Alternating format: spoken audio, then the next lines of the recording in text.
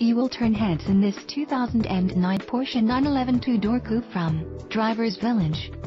Let the acceleration push you into the black seats as you put the pedal down to the 3.8-liter H624 valve engine. Mill through its manual transmission to its rear-wheel drive.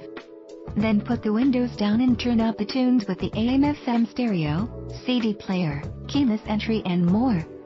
In addition to getting you there fast, this coupe will also get you there safely with 4-wheel ABS, braking assist and more. We would love to talk to you more about this 911. Please contact us for more information.